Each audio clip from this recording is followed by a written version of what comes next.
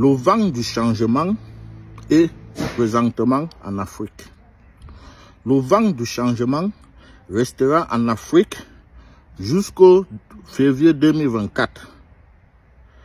Si jusqu'à cette date, le Cameroun n'a pas encore réalisé un coup d'État, sachez que vous aurez, que vos yeux, nous aurons que nos yeux à pleurer en 2025. Parce que Frank Bia serait précédent. Je n'ai pas de problème avec Frank Bia. Le seul problème que j'ai avec Frank Bia, c'est le nom qu'il porte et son parcours. Sinon, je n'ai pas de problème avec lui parce que Frank Bia peut arriver et nous apporter une autre idéologie, une autre politique, un autre système. C'est possible. Même Ferdinand Gongong. Les gens là doivent faire un coup d'État. Le vent de changement est en train de s'envoler à tort l'Afrique. Les gens qui sont là, allez vous inscrire sur les listes électorales et toutes ces choses-là. Maurice Kamto, c'est un président d'un parti politique. C'est le genre de discours, de langage que lui, il doit tenir. Parce qu'il est président d'un parti démocratique. C'est normal qu'il demande aux Camerounais d'aller s'inscrire sur les listes électorales. Mais Maurice Kamto lui-même, il dit, toujours, faites pour vous, je fais pour moi. Ça ne veut pas dire, si Maurice Kamto demande les gens d'aller s'inscrire sur les listes électorales, sur les listes ou bien sur la liste électorale, c'est seulement ça que nous devons le faire. Ouvrez vos yeux. Maurice Kamto ne peut pas prononcer ce mot-là, qu'il nous faut un coup d'État. Mais pour que le changement, le vrai changement arrive au Cameroun, nous devons passer par un coup d'État.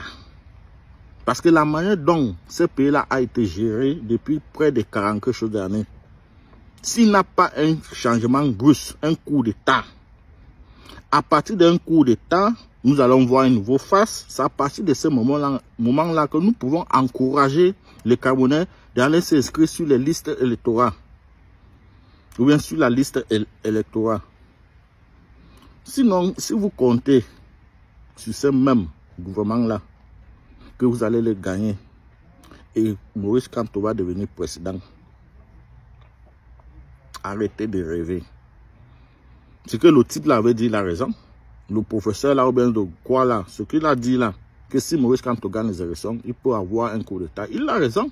D'un pas, il est en train de vous dire de faire un coup d'État maintenant. De ne pas attendre jusqu'à 2025. Vous allez rester là pour pour attendre jusqu'à 2025. Pendant ce temps, les anglophones seront en train de mourir. Les, les billes seront en train de mourir. Les Camerounais seront en train de mourir. Pourquoi attendre jusqu'à 2025 alors que le vent du changement est présentement en Afrique? Pourquoi ne pas saisir cette occasion Vous avez vu les Américains parler de, ce qui... Vous avez vu les, Américains s'agiter de tout ce qui se passe aujourd'hui en Afrique? C'est parce qu'ils savent que c'est le temps. Le temps des, Arabes était là. Nous avons vu ce qui s'est passé. Maintenant, c'est le temps des, Africains noirs. Le vent du changement. Hein? Les coups d'État doivent se réaliser. Il n'y a pas un pays qui a plus besoin d'un coup d'État que le Cameroun.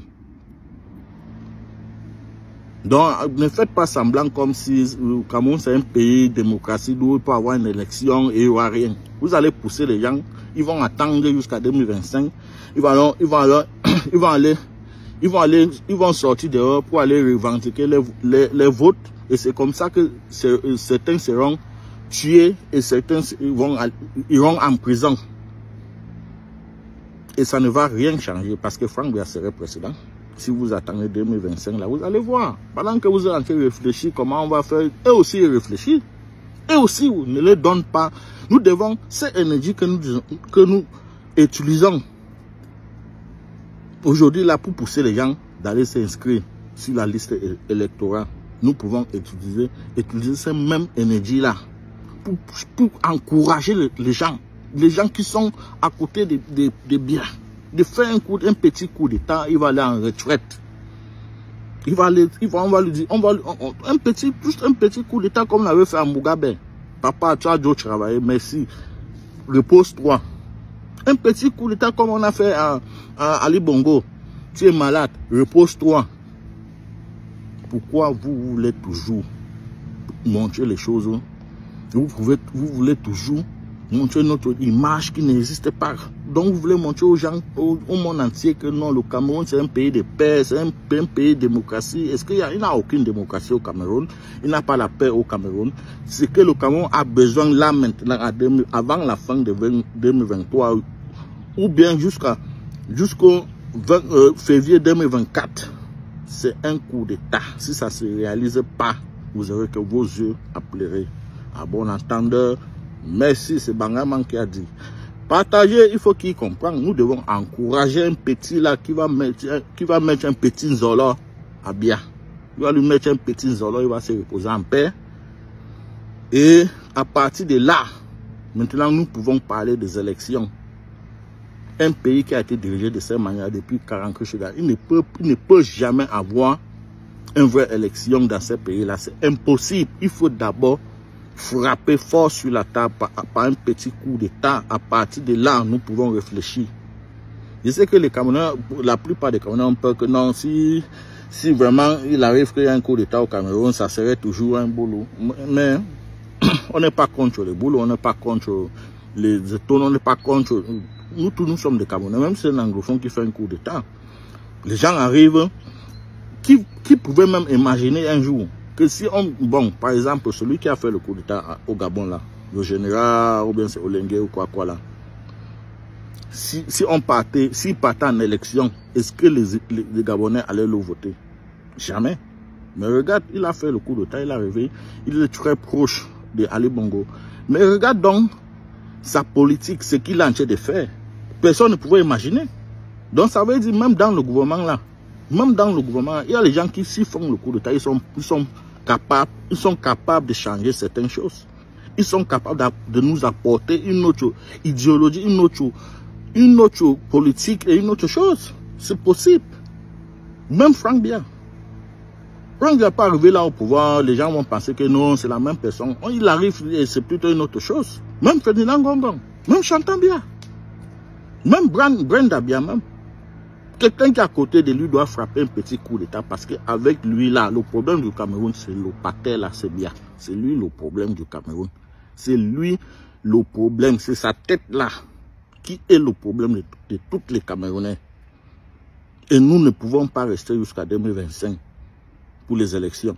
Les politiciens peuvent dire non, en 2025, il faut s'inscrire, tout ça, c'est normal. C'est ce qu'ils doivent le faire. C'est ce qu'ils doivent faire.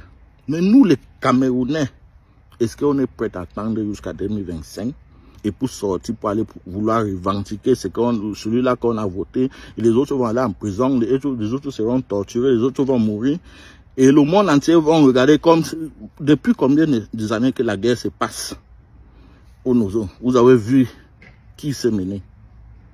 Vous pensez que c'est à 2025 qu'ils vont sortir pour venir vous sauver?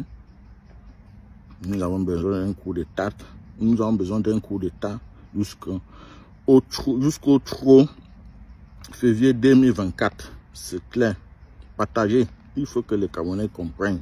Il n'a pas de solution. Partager, il faut qu'ils comprennent. Nous avons besoin d'un coup d'État d'abord. Ouais.